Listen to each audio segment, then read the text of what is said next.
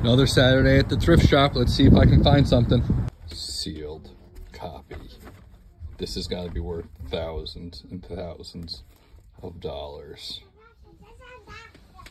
Should I get a few more?